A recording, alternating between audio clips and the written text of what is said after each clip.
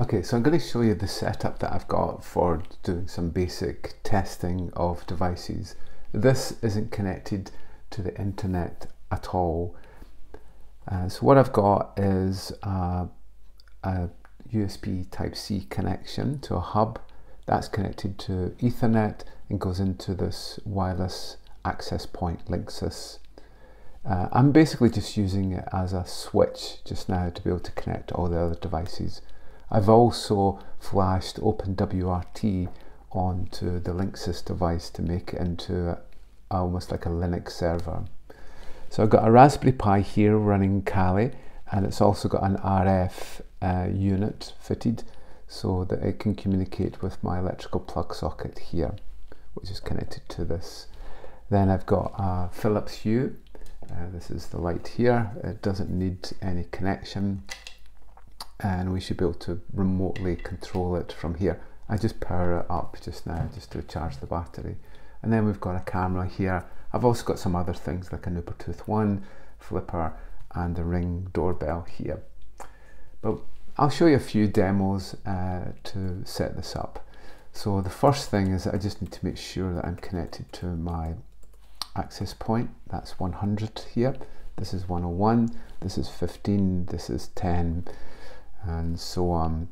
So uh, I'll just get logged into my access point. There we go. Okay, that's there, and that's me connected. So this is what WOpenRT looks like. If you've not seen it, it just looks like a standard uh, Linux build. So I'll disconnect and you can also access it from the, the browser. So we see here, I'll get logged in and then all I've done is set up DHCP to make sure that all these devices connect with static IP addresses. So I've registered each of their MAC addresses and then they'll get static addresses automatically. Uh, so this is the Raspberry Pi here, this is the Philips uh, hub here, this is the camera, and this is my machine here uh, onto this here, this network. Okay, so we should be set up. So what I'll do now is I'll connect into the Raspberry Pi and we'll just get started. Okay, just make sure it's alive and it is. So then I'll get connected in. And there we are. So this is a standard Linux Linux Kali build and I flashed it onto the Raspberry Pi. So we'll just have a look at this. Okay, so the first thing we'll go and have a look at is the, the camera. So the camera is at uh, 192.168.10. Okay, so often the first thing we would do is to be able to run nmap to see the services that were enabled. Okay, so let's see what we get. And we get 23 telnet and 80 HTTP. Not very good because these ports are exposed, especially the telnet port.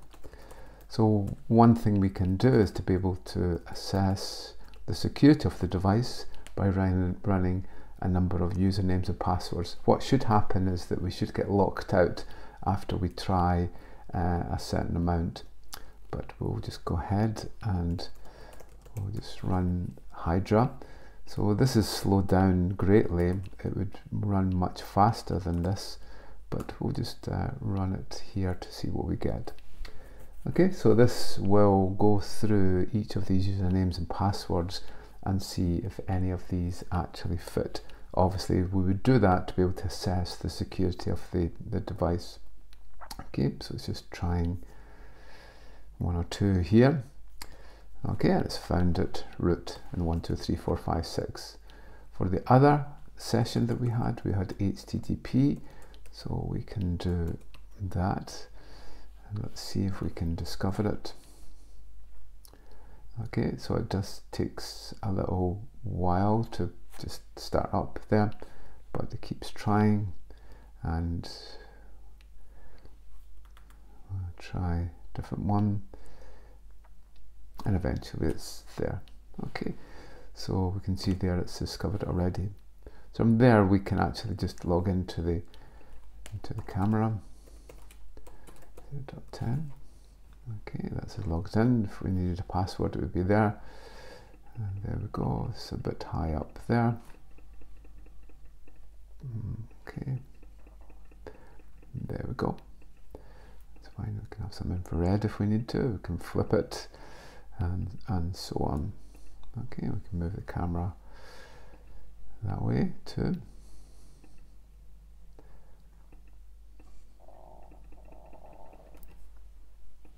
Okay, so it's quite worrying that we have a camera which uh, can be easily compromised. So now let's look at our Hue hub. So for this one, we have our wireless light here that we can change the color from the hub. So in this case, we've got um, Python script and, and basically it's an API call. We have almost like a web call to it and we pass it what's called a JSON string and that will make the light go on or off. Okay, so off is false, so it should go on, and then off is true, so it should go off, and and the light will will stop there. Uh, it's at 0.15, so we'll give it a little try. We'll just see if our hub is alive and it is okay so we'll now go ahead and we'll run we'll run our Python program. Fingers crossed. We should see something happening in a little minute and we can see here that the light is going on and off with our API calls into there. Okay we'll just stop it when it's on there like that. So we can easily change our colors that we want so for the saturation the brightness and the hue. So let's try and change the hue a little bit. Let's see if we change that to 64 or 66 give another try. And you should find that the hue is now uh, different from there. Okay, so you can see the power of uh, the Raspberry Pi being able to communicate with the hue there and then for us to be able to control with our, our script. So now let's look at the RF uh, component here. So in this case, uh, we've got uh, our GPIO and it sets certain pins on the little card in there to be able to control the the the RF unit to be able to control the, the, the plug socket. Okay, so all ones on these pins puts the socket off on and one one and a zero here puts it off. So we'll give it a try. okay that's off that's on. Okay. So you can see remotely we were able to control from here to here and turn this on. And then we can turn it off again.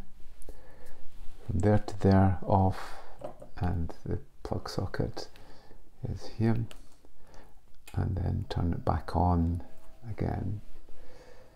Okay, so you can see the power. There's a little RF unit in here to be able to control this plug socket and then control that there. Okay, so that's been uh, a basic demonstration of some simple uh, testing of devices.